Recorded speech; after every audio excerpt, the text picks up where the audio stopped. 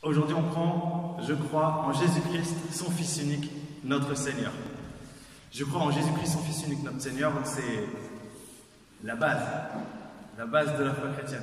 Mais bon, peut-être qu'on peut réfléchir quand même à qu'est-ce que ça veut dire et qu'est-ce qu'on, comment ça résiste en nous parfois euh, pour, euh, euh, pour vivre réellement l'unicité de Jésus-Christ comme Seigneur et Sauveur, et puis la pleine Seigneurie de Christ dans notre vie. Et donc, je vous propose qu'on regarde.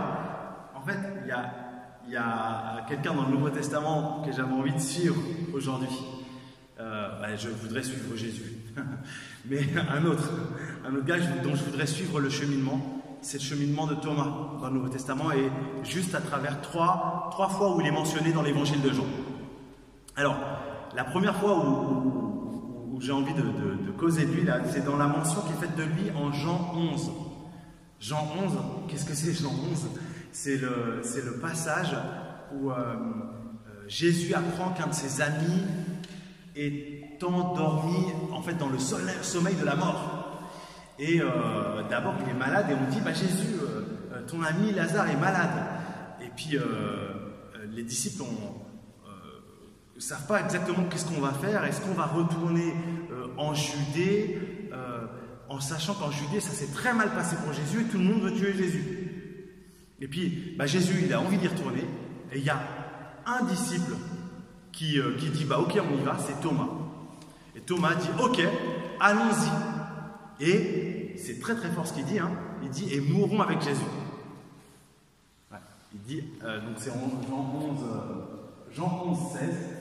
Alors Thomas, le jumeau dit aux autres disciples, allons-y nous aussi, pour mourir avec Jésus. Là, on se dit, Thomas, attention. Hein. Thomas, il est, costaud dans sa foi, hein, il y va vraiment. Après, on retrouve Thomas, quelques chapitres plus tard, donc Jean 11, tout ça, euh, c'est la résurrection de l'ami de Jésus, Lazare. Donc euh, Thomas et les autres disciples voient un truc incroyable. Ils voient un mort qui sort de son tombeau, qui sentait déjà la, mort et la décomposition. Il sort avec ses bandelettes et tout ça. Il sort de tombeau. Bon, je pense que Thomas, il a dû là, voilà, il a dû voir quelque chose d'un peu fou. Euh, Jean 12, il se passe des trucs avec les, les, sœurs, euh, les sœurs de Lazare, bon, voilà, etc. Jean 13, c'est Jésus qui dit à tout, à tout le monde Ah, je vais mourir. Euh, voilà. et voilà comment ça va se passer, etc. Il annonce la passion et tout ça. Et Jean 14, juste après, voilà, Jean rapporte les paroles de Jésus et le, vraiment quasiment heure par heure, là, jour par jour, on a, un truc très très proche Jean qui essaye de, vraiment rapporter exactement comment ça s'est passé. Euh, voilà. Et, en Jean 14, il remet Thomas, il repart de Thomas, euh, Jean, parce que Jésus, juste après avoir annoncé sa mort, dit un truc fou à ses disciples. Il dit euh, que votre cœur ne se trouble pas. Croyez en Dieu et croyez aussi en moi. Coup, voilà, il, fait bien comprendre aussi à ses disciples que la foi en Dieu, c'est, ça passe aussi par la foi en lui. Croyez en Dieu, croyez aussi en moi. Euh, il y a beaucoup de demeures dans la maison de mon Père et, j'y vais et je reviendrai pour vous prendre avec moi. Et là, les disciples, bon, euh, ils ont compris hein, l'annonce de la mort et tout. Euh, Jésus, tu t'en vas, tu vas chez le Père. Et il y a Thomas qui dit, mais comment pourrions-nous connaître le chemin? Nous ne savons même pas où tu vas. Et donc là, Thomas, devant tous les autres, dit, Jésus, j'ai rien compris. Qu'est-ce qui se passe en fait? Et puis, euh, Jésus lui répond cette parole qui est, connue, qui, est puissante, et euh, je pense qu'il qui, doit structurer en fait euh, notre, notre vie, cette parole de Jésus. Je suis le chemin, la vérité et la vie. Nul ne vient au Père que par moi. Nul ne vient au Père que par moi. Donc Jésus dit, à, dit, devant tous ses disciples, c'est par moi que ça passe c'est par moi. Bon, il se passe plein d'autres choses après, euh, Et puis, vous savez comment, ça, comment la vie de Jésus termine. Il termine euh, euh, martyrisé, crucifié, torturé. enfin, c'est une, vraie boucherie sur le, sur le mont Golgotha. C'est prévu, et ça, les disciples le vivent. Nous, on le raconte, les disciples l'ont vécu. Ils ont vécu ça. Le, côté dramatique, le côté qu'est-ce qu'on fait On en veut à leur vie. Euh, sait qu'en fait, on en voulait aussi aux disciples, pas que à Jésus. On, a, on torturé le maître. Les, disciples savent très bien à, quel point c'est dangereux pour eux. Et puis, euh, quelques jours après, euh, bah, après la mort de Jésus, trois jours, le troisième jour après, il y a des femmes qui disent qu'il est ressuscité. Et puis les disciples sont encore ensemble. Je, me suis laissé interpeller cette fois-ci par le, fait que même dans le doute, même dans le on ne sait pas quoi faire, qu'est-ce qui se passe? Les disciples sont restés ensemble. Ils avaient quitté au moment de la croix. Ils avaient quitté quand, quand, ils ont eu peur. Il y a Pierre qui a essayé d'aller dans, le tribunal où était jugé Jésus, de voir un peu, puis il a vu qu'on essayait de, dire Mais toi, tu es un disciple de Jésus, on va te faire du mal aussi. Il s'est cassé. Euh, et au pied de la croix, il y avait quelques femmes, mais les hommes, euh, les hommes sont partis, là, les disciples, ils sont partis. Pourtant, ils sont encore ensemble le troisième jour et les semaines d'après. Ils se retrouvent ensemble. Et, euh, Jésus se montre à ses disciples. Il se montre à tous les disciples, mais il en manque un, c'est Thomas. Et, on, arrive là, et puis je, voulais qu'on lise ce texte aussi. Quand Jésus est venu dans la maison, Thomas, appelé le jumeau, l'un des douze apôtres, n'était pas avec eux. Et les autres disciples disent Nous avons vu le Seigneur, mais Thomas leur répond Je veux voir la marque des clous dans ses mains, je veux mettre mon doigt à la place des clous, et je veux mettre ma main dans son côté, sinon je croirai pas. Le dimanche suivant, les disciples sont de nouveau réunis dans la maison. Thomas est avec eux, ils ont fermé les portes à clé. Jésus vient et il se tient au milieu d'eux, il leur dit La paix soit avec vous. Ensuite, il dit à Thomas, avance ton doigt ici, et regarde mes mains, avance ta main, et mets-la dans mon côté. Arrête de douter et crois. Thomas lui répond, mon Seigneur et mon Dieu. Et là, il se passe un truc que je vous invite à, méditer, c'est qu'en fait, euh, on, a la description du doute de Thomas là, dans, l'évangile, du fait que Thomas, euh, c'était dur à encaisser. C'était dur à croire, c'était dur à encaisser. Euh, il ne voulait, il voulait pas simplement croire le témoignage des femmes, même pas le témoignage de ses, ses, amis quand même, ses meilleurs amis sans doute. Tu vois, des gens avec qui il a passé des années à vivre tout. Il voulait pas croire ça trop facilement. Il était vraiment attentif à pas croire en fait n'importe quoi. C'était dur quoi. Mais il y a un autre truc, c'est qu'il est quand même avec les disciples. Je vous invite à, prendre ça quand même comme, euh, un fait, c'est que euh, il aurait pu dire, euh, vous voyez, il aurait pu dire, non, tout ça, on a cru des bêtises, c'est terminé, je retourne chez maman. en plus, rester avec vous, c'est dangereux. Laissez-moi retourner chez ma mère. Mais non, il est resté avec les autres disciples, là où c'était dangereux. Ils sont cloîtrés dans la maison, c'est fermé à double tour. c'est la panique à Donc, il est là, avec son doute, avec, euh, avec sa, difficulté, mais il est quand même, hmm, il est quand même avec ceux avec qui il pense qu'il peut se passer quelque chose. Et là, euh, en fait, tout ce qui se passe euh, pour Thomas là, au, travers de l'évangile, c'est quand même incroyable. En fait, ce Thomas qui est, quand même le, le, gars courageux là, quand, quand, on apprend la mort de Lazare, c'est le gars courageux qui veut mourir avec Jésus, c'est celui qui a vécu des choses avec Jésus incroyables. Et puis en même temps, c'est celui qui, quand il comprend pas un truc, il dit à Jésus Non, mais sérieux, Jésus, j'ai pas compris. Comment ça, euh, euh, on connaît le chemin? Moi, j'ai pas compris c'est quoi le chemin? Euh, quitte à se prendre Jésus qui lui dit Mais si, vous connaissez le chemin, le chemin, la vérité, la vie, c'est moi. et, des choses comme ça. Et puis, et puis à se faire devant tous les disciples, en fait, bah, il se fait rencontrer par Jésus. Et pour moi, il y a un truc très fort là, c'est que croire en Jésus, le Nouveau Testament nous dit en fait que c'est pas si simple que ça. Vous voyez et, je pense que c'est quelque chose qu'on doit, vraiment prendre dans le Nouveau Testament. Euh, c'est Jésus qui vient à nous et euh, la foi, la foi juste comme, une espèce d'évidence, mais oui, ça coule de source et tout ça. En fait, euh, euh, ben, c'est pas de ça que nous parle le Nouveau Testament. Le Nouveau Testament nous parle de, chemins de foi qui se font, qui se font dans les larmes, qui se font dans la souffrance, qui se font dans des moments est-ce qu'on y va, est-ce qu'on n'y va pas, est-ce qu'on risque, est-ce qu'on risque pas, est-ce qu'on va dans le palais du, gouverneur, est-ce qu'on va dans la cour du Sanhédrin qui est en train de juger Jésus, ou est-ce qu'on rentre, est-ce qu'on est au pied de la croix ou est-ce qu'on ne prend pas de risque? C'est en permanence une espèce de, tiraillement, c'est dur, mais c'est Jésus qui vient, et c'est Jésus qui rencontre.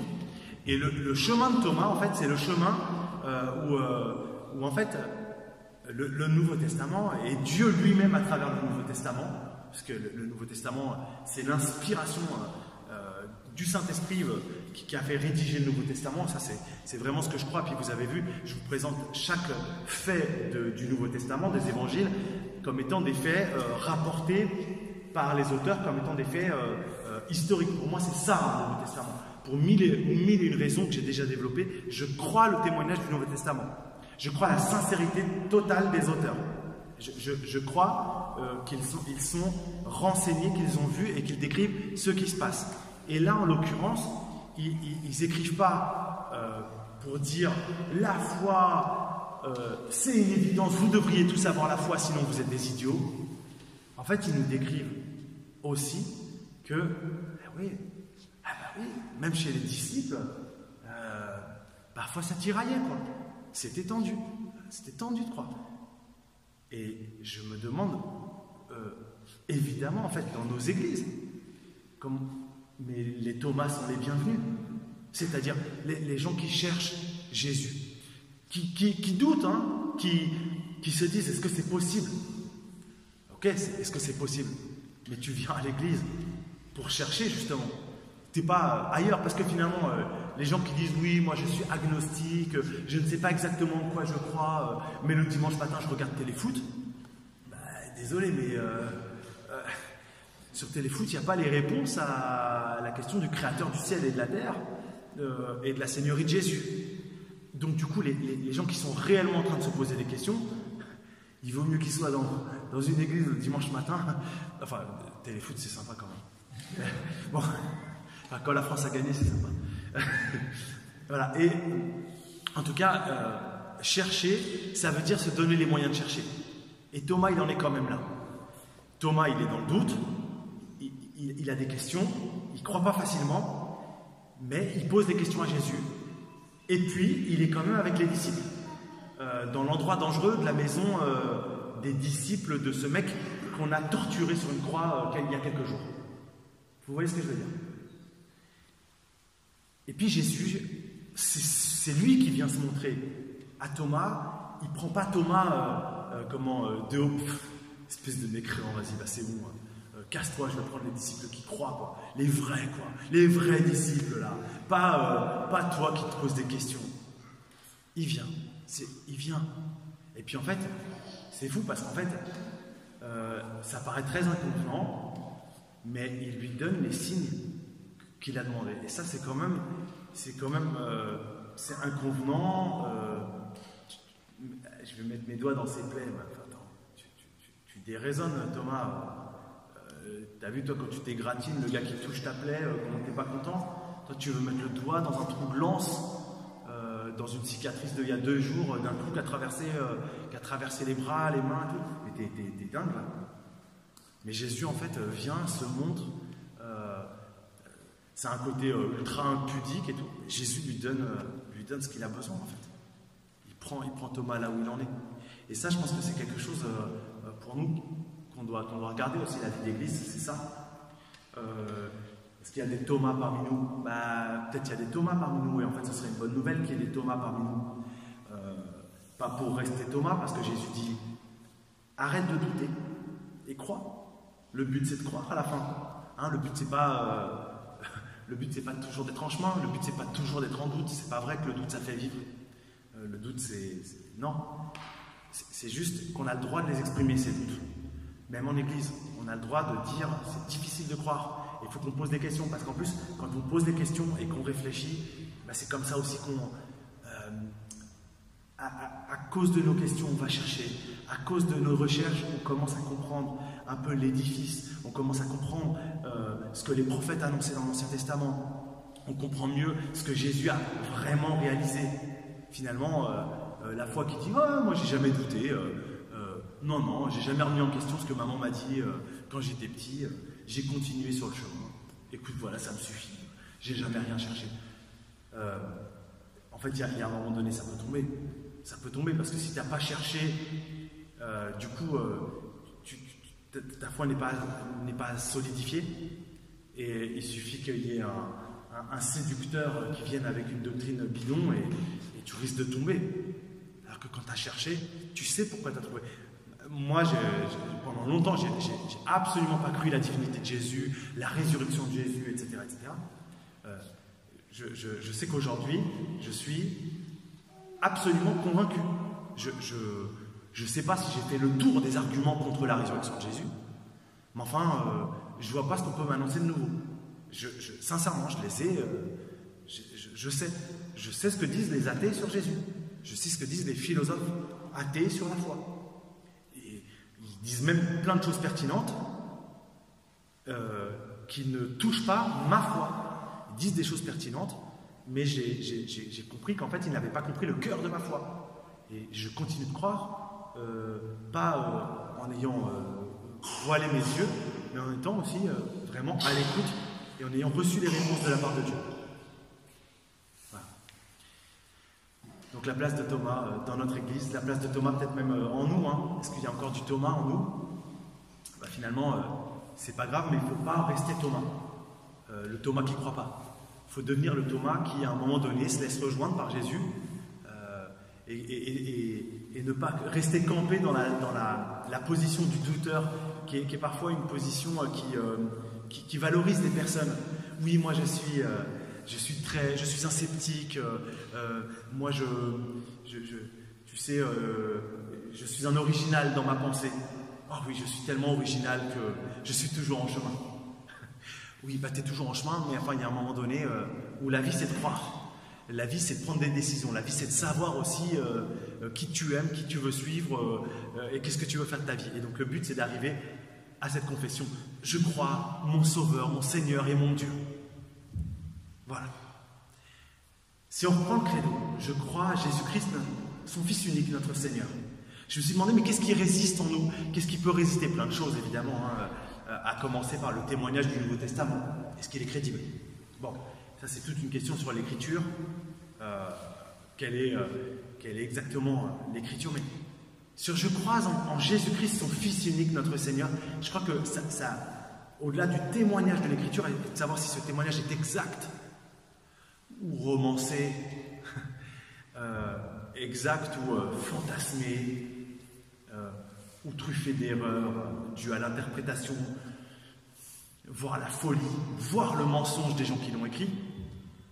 Il y a quelque chose dans la divinité de Jésus et dans sa seigneurie qui est, euh, qui est quelque chose de difficile à croire, quels que soient les faits. Euh, et, je voyais deux choses que j'avais envie de partager avec vous, il y en a peut-être plein d'autres. Hein. Mais dans les deux choses, c'est que dans son Fils unique, là, dans l'expression son Fils unique, il y a quelque chose qui nous dit, ouais, t'as pas le même statut que Jésus. Jésus est quand même très différent de toi il y a une radicale différence. Il est venu comme un homme, on verra ensuite conçu du Saint-Esprit, né de la Vierge Marie, tout ça. Il est venu comme un homme sur cette terre, mais pour, vivre une vie d'homme. Mais il y a quelque chose qui est radicalement différent. Il est le Fils euh, unique. C'est pas juste le grand frère, vous voyez, dans la lignée de Jésus, quoi. Euh, comme nous serions les, enfants de Dieu euh, et que Jésus serait notre grand frère. C'est pas juste ça que dit, euh, que dit ce texte à ce moment-là. C'est pas juste le grand frère. C'est qu'à un moment donné, c'est le fils unique. Il y a une différence qui est radicale avec avec le reste des humains. C'est pas euh, Jésus n'est pas simplement euh, parmi les grands hommes celui qui, qui, vraiment les devance dans la lignée de la bonne humanité. Vous savez, celle où il y a Gandhi, Martin Luther King, Mère Teresa, voilà. Et eh ben il y a Jésus qui serait qui serait le, chef de, cette grande cohorte des, hommes bien. Il y a une radicale différence. On dit parfois que nous sommes les enfants de Dieu, oui, nous sommes les enfants de Dieu, mais par adoption. Alors dans l'amour du Père, il n'y a plus de différence. Il y a parmi nous des, frères et sœurs qui ont des enfants adoptés, ils les aiment comme leurs euh, enfants naturels. Je suis sûr que euh, dans le cœur du Père, il n'y a pas de différence dans l'amour, parce que ce n'est pas, comme ça que, marche notre Dieu. Mais nous sommes les enfants adoptés, nous, venons après Jésus-Christ, Fils unique. Quelque chose de cette radicale différence. Et ça, pourquoi c'est difficile, je crois, à encaisser? Parce que il faut encaisser que notre humanité n'est pas de même nature que celle de Jésus. Il y a quelque chose qui est euh, euh, insurmontable. Et en fait, si on classe l'humanité, vous savez, parfois on classe euh, les très méchants, les très gentils, et on se demande où est Jésus. Puis du coup, sur notre échelle un petit peu à l'arrache comme ça, on mettrait Hitler, très très loin, dans l'extrême. On mettrait Martin Luther King très très haut, euh, proche du ciel. Et Jésus juste un petit peu au-dessus de Martin Luther King. Et en fait, le, témoignage biblique, c'est pas ça. Le témoignage biblique, c'est que il y a beaucoup plus de différence entre Martin Luther King et Jésus qu'entre Hitler et Martin Luther King. Désolé, c'est vrai que c'est hard à entendre.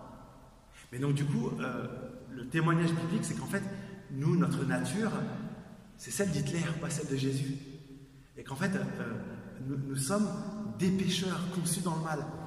Fait, derrière tout ce qui se passe, les circonstances qui font que si ça, nous avons des occasions, nous n'en avons pas, euh, tout un tas de choses, nous sommes corrompus. Et que Jésus est différent. Il est différent. Et ça, c'est dur à entendre, notamment dans, notre société humaniste, en fait, où, en fait, euh, nous, pensons qu'il y a une espèce d'amélioration de l'homme, euh, du mal vers le bien. Une, amélioration euh, continue et graduelle. Et ce n'est pas le témoignage de la Bible. Parce que la Bible, en fait, ne, nous parle que d'hommes qui sont capables de, de beaucoup de mal. Et finalement, même Paul, Paul, c'est incroyable parce qu'on se demande est-ce que euh, c'est aller trop loin que de, comparer euh, euh, Paul à, Hitler, par exemple? Vous, voyez, j'ai décidé aujourd'hui de, prendre le point Godwin pendant toute la prédication. Hein. en fait, la nature, c'est cette nature meurtrière, égoïste, égocentrique. C'est de ça dont nous parle le Nouveau Testament. Et ce dont nous parle la nouvelle naissance, la capacité à vivre, à vivre euh, pour Christ et la Seigneurie de Christ, c'est la capacité non pas à, à, évoluer graduellement vers un homme meilleur, parce que nous ne demandons pas l'esprit de Martin Luther King ou l'esprit de Gandhi en nous. Nous ne voulons pas vivre de cet esprit-là. Nous voulons vivre de l'esprit du Christ et de cette radicale différence, parce qu'il est unique en son genre unique. Et c'est lui que nous visons. Et donc du coup, quand je confesse Jésus-Christ, son Fils unique, notre Seigneur, quand je confesse qu'il est le Fils unique, je dis bien que j'étais devenu, non pas un enfant de Dieu, mais j'étais devenu un enfant du diable.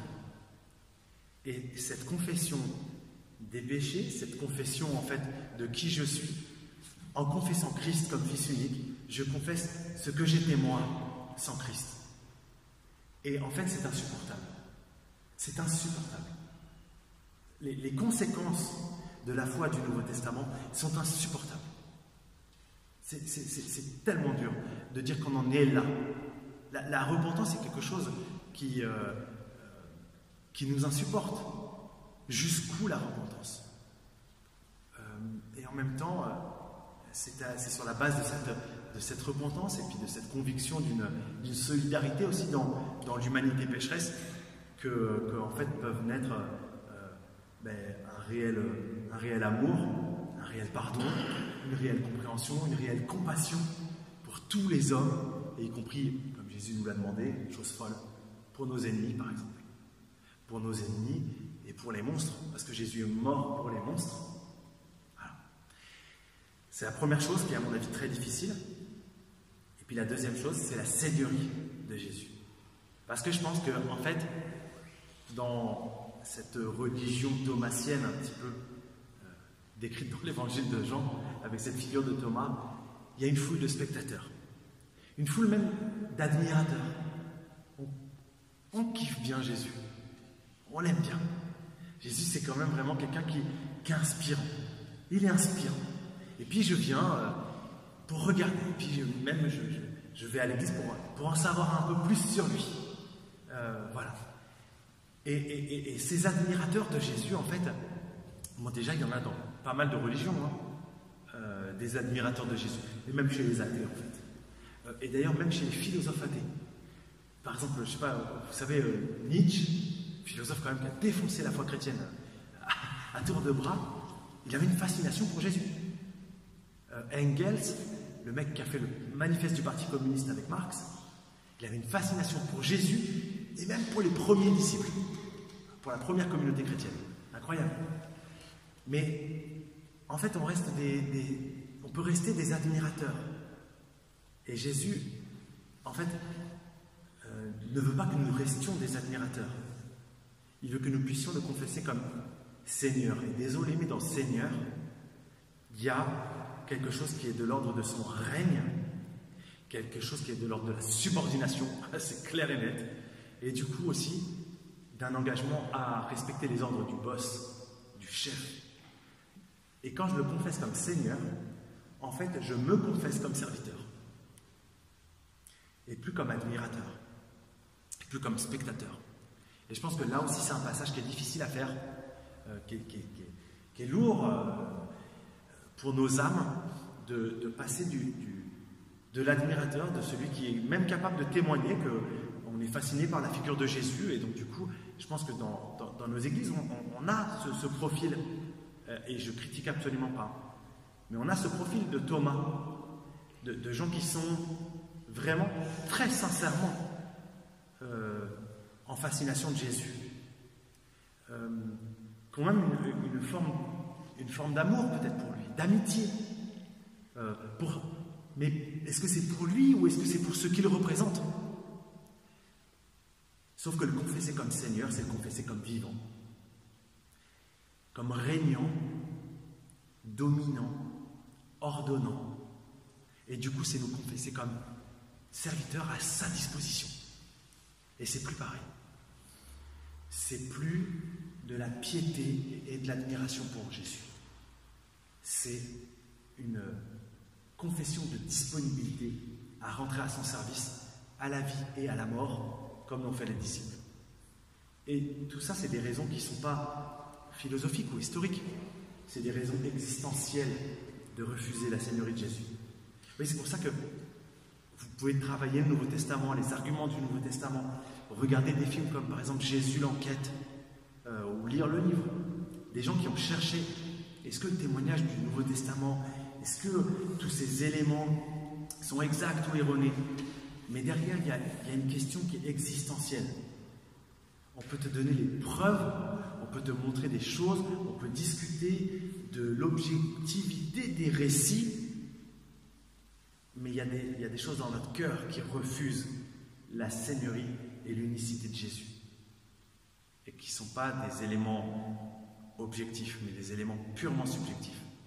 Vous savez très bien que euh, chez les chercheurs en sciences dures, euh, il y a un biais, il y a toujours le biais de qu'est-ce que je suis en train de chercher.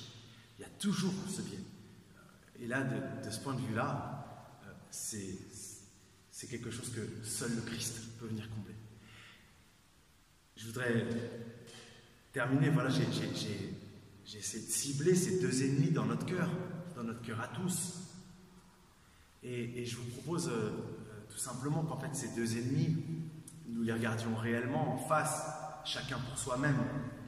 Euh, Est-ce que ça me fait mal en fait de, de considérer euh, l'absolue nécessité que j'ai d'être à Jésus, euh, l'absolue nécessité que j'ai d'être transformé totalement. Ou est-ce que, euh, est que je ne supporte pas en fait en, soi euh, ce, ce, ce, jugement ou ce, ce, diagnostic sur mon état d'âme et de cœur. Et puis accepter, accepter de, de, de, regarder en face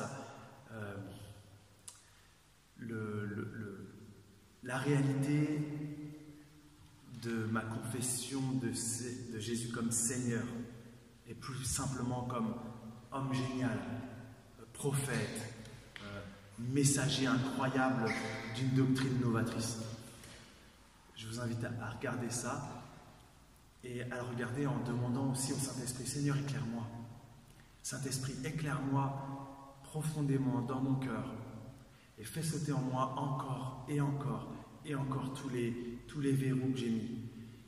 Et Saint-Esprit, permets-moi de, rencontrer, d'être rencontré à nouveau par le Christ, d'être revivifié et de retrouver la, la, jubilation que vous avez vue de Thomas, mon Seigneur et mon Dieu, de le dire, de le proclamer, puis de le vivre de l'intérieur. Voilà, pour passer de l'incrédulité à la foi, du doute à la foi et à la suivance. On prie. Et Seigneur,